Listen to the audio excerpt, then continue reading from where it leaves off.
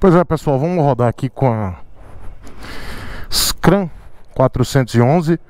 Tô aqui na Royal Enfield Campinas e vou mostrar para vocês aqui mais uma vez a Scrum 411, só que dessa vez eu vou falar para vocês o que eu achei dela.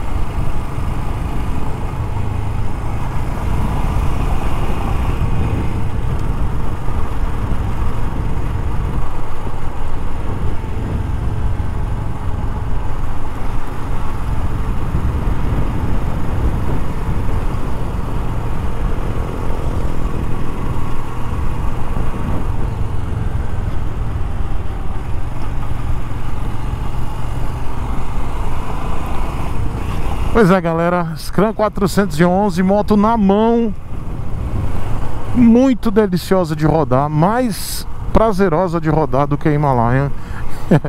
Eu sei que a galera de Himalaia não vai gostar disso, mas verdade, tá, gente?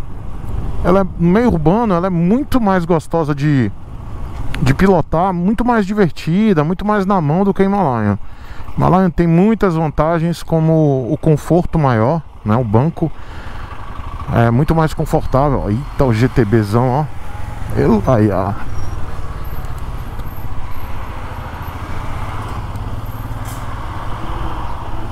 A Himalaia é muito confortável, principalmente para viagens. Mas a Scrum é muito mais na mão. Onde você vai passar a maior parte do tempo que é na rodovia. Sendo que ela aqui também dá para viajar. Claro que não vai ter a mesma pegada de um Himalaia, não vai ter bolha, mas já ouvi alguns inscritos falando no, no último vídeo que eu lancei da Scrum Alguns inscritos falando que já tem uma bolha dessa sendo vendida lá fora. Então você aí que tem curiosidade, já pesquisa logo para ver se tem uma bolha para Scrum. Mas ainda digo, aquela bolha universal que você coloca aqui Ela funciona tranquilamente na Scrum. Se você quiser viajar e você coloca, depois tira. Mas pro meio urbano não precisa não, tá? Meio urbano é isso aqui, ó. Vento no peito. Moto na mão, roda aro 19, tanque de 15 litros. O banco aí confortável para essa utilização. Banco não é bipartido, como eu mostrei no vídeo, mas vale a pena repetir tudo, tá? Moto com 24 cavalos 0,3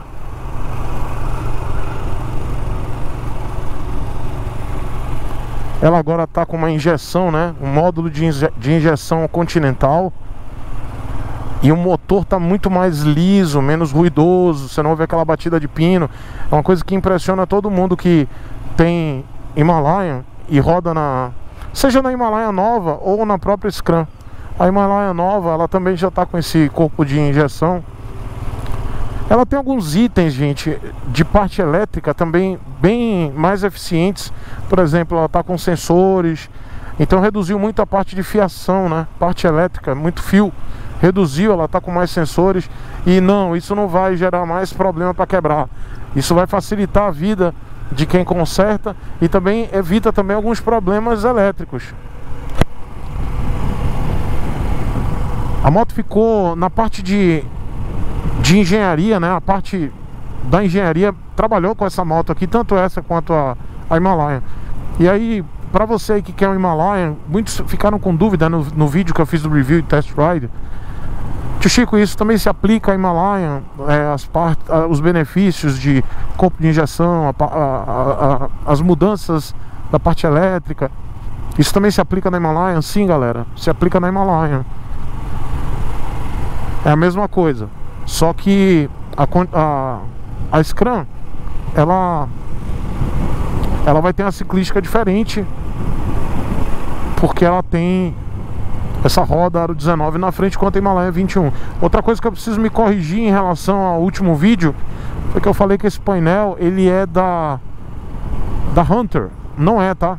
Ele é tipo o da Hunter, mas eu tenho um inscrito meu que eu quero até mandar um beijo. Eu, eu não vou lembrar o nome, mas ele vai saber quem foi.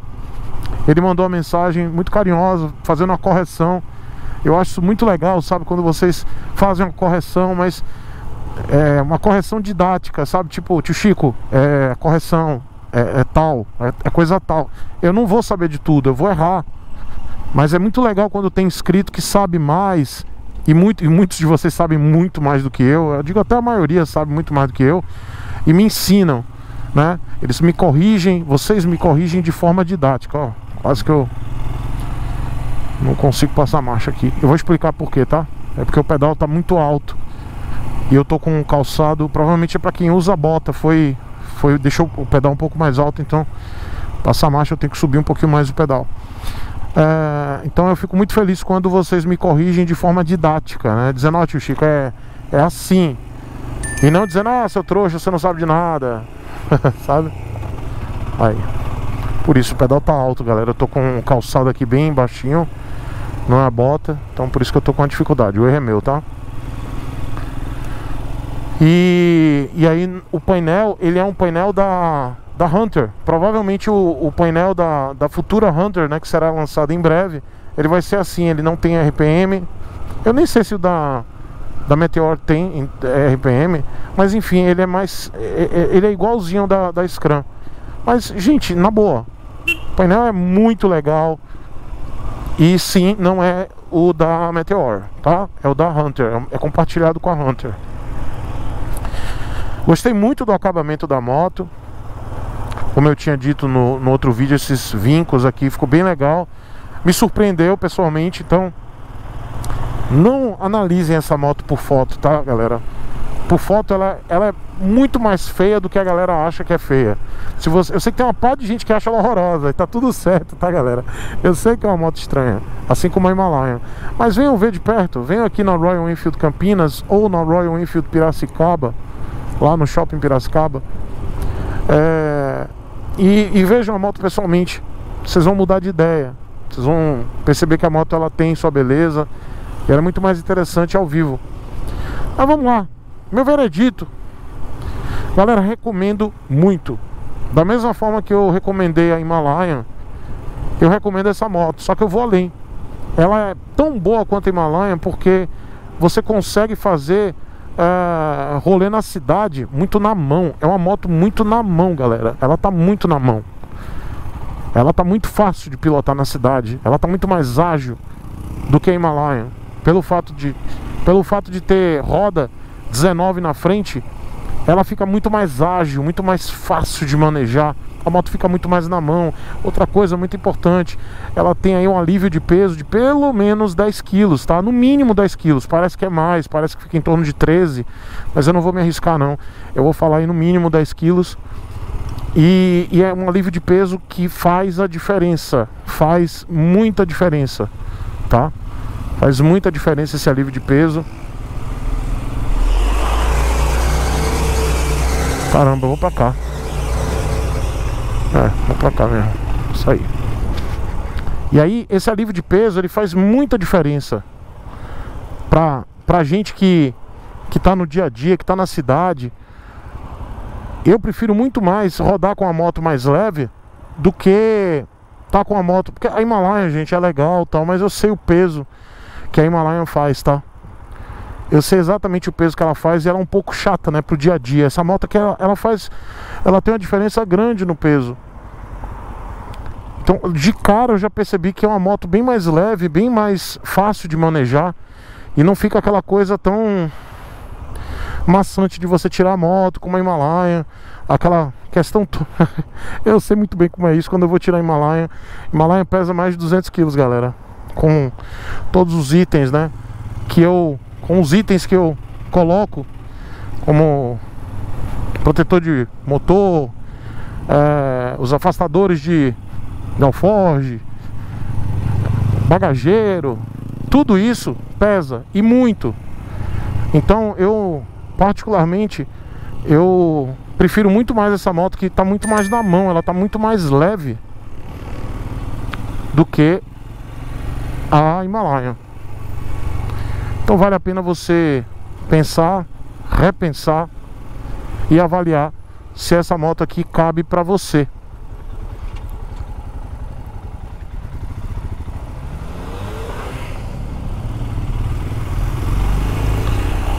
Tio Chico, você indica a Scrum para viagem? Com certeza, indico a Scrum para viagem. É uma moto que vale a pena para você que vai viajar, você que quer viajar, você que quer fazer um rolê distante, por exemplo, a última viagem que eu fiz de Himalaia, eu rodei 2 mil quilômetros voltando daqui para Salvador. Dá para fazer de Scrum? Claro que dá. Então você pode fazer sim esse mesmo rolê com Scrum, só que você vai ter que colocar os acessórios da Rosarte Serralheria, que é afastador de alforge, vai ter que botar um bagageiro. Essa moto não vem com bagageiro, ela vem com PQP, né? Como eu mostrei. Então você vai ter que colocar alguns acessórios. Dá para viajar? Dá. Se você não quiser colocar nada e botar uma mochila aí atrás, vai fundo. A moto ela vai ter um alívio de, ela como ela tem um alívio de peso, então você vai ter muito mais fôlego para as ultrapassagens do que a Himalaia até. Agora, Garupa, não recomendo, tá? Continuo sem recomendar. Quem quiser viajar, ah, eu chego mais eu viajo de garupa, tá tudo certo, irmão. Você viaja de garupa, boa sorte, valeu, tá certo, vai em paz. Mas eu não indico, tá, galera? Eu não indico. Se você tá pensando em comprar essa moto para viajar de garupa, eu não indico. Assim como a Himalaia, eu não indico. Vá por sua conta e risco. É uma moto fraca, é uma moto que não não tem uma relação peso-potência, por exemplo, como a Lander. Uma Lander que é muito mais leve, mas mesmo ela tendo 21 cavalos. Ou uma XRE, que tem a mesma cavalaria. Eu não indico, tá, galera? Essa moto aqui, ela vai gritar. Dá pra ir a 100 por hora, 90? Dá. Com garupa, vai fundo. Se você tem noção disso, se joga, vai fundo que vai dar certo. Tá bom? Mas eu preciso deixar claro é, deixar algumas coisas claras para depois alguém comprar e falar, pô, tio Chico disse que eu posso comprar de qualquer forma. Não, eu tenho essa ressalva e eu sou muito responsável com as minhas indicações. De, de resto, galera, é uma moto que tem uma um custo-benefício muito bom. Eu acho que a, a, Royal ela não deveria ter cobrado esse valor, tá? A Royal Enfield Brasil, esse preço público sugerido de 22.500, é 22.490, né? Vou arredondar para 22.500.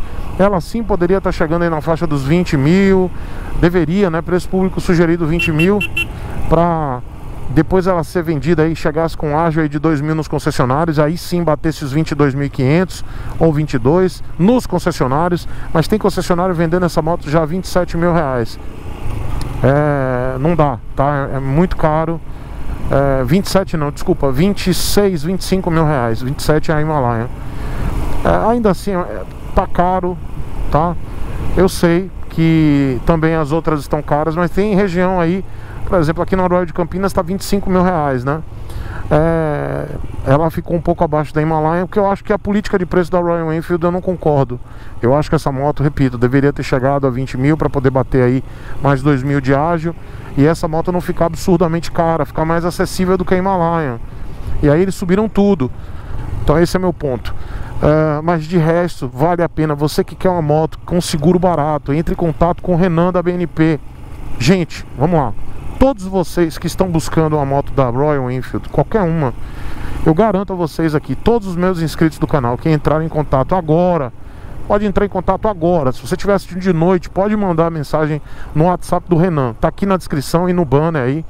Tem o WhatsApp do Renan. Pode mandar o WhatsApp agora para ele. Ele não tem preguiça de fazer cotação. Inclusive ele me pede para falar para a galera mandar a hora que for, qualquer horário. Pode mandar Mensagem para o Renan da BNP Seguros, meu patrocinador. Todas as minhas motos são asseguradas pela BNP e vocês terão desconto em todas as, todos os veículos que vocês fizerem a cotação, tá? E fecharem o seguro com a BNP. Essa moto aqui tem um seguro muito barato, tanto que a minha Himalaia, o seguro custa menos de mil reais no meu perfil, tá? Pra você ter ideia, é, é o seguro mais barato que eu tenho de motocicleta. É o mais barato que tem, é o da Himalaia. Imagina da Scrum, a Scrum deve ser mais barato ainda. Uma moto com seguro barato, uma moto aí com um custo de manutenção ok, não vou dizer que é barato.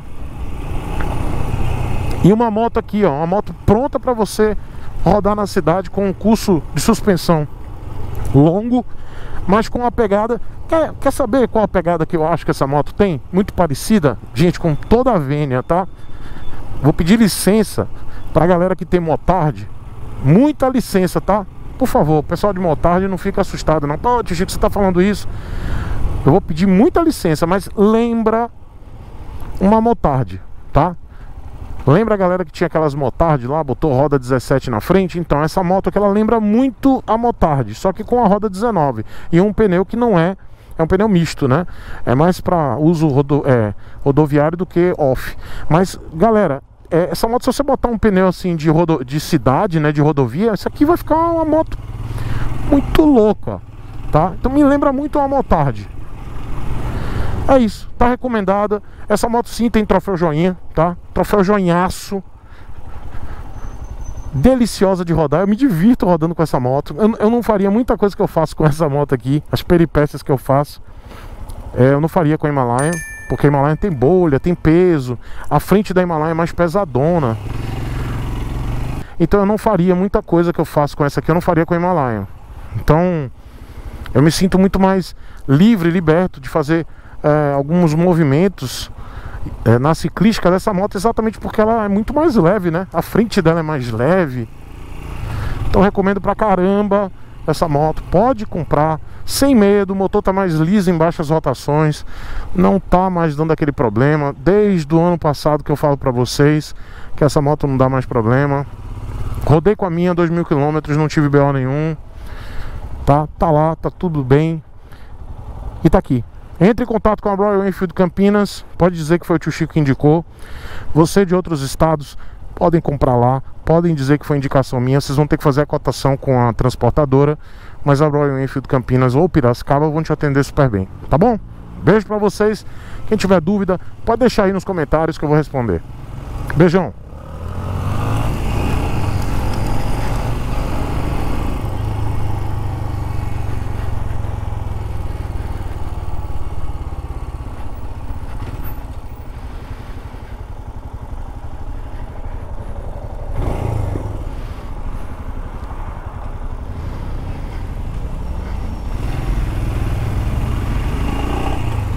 Vamos pular ali a rampa? Bora!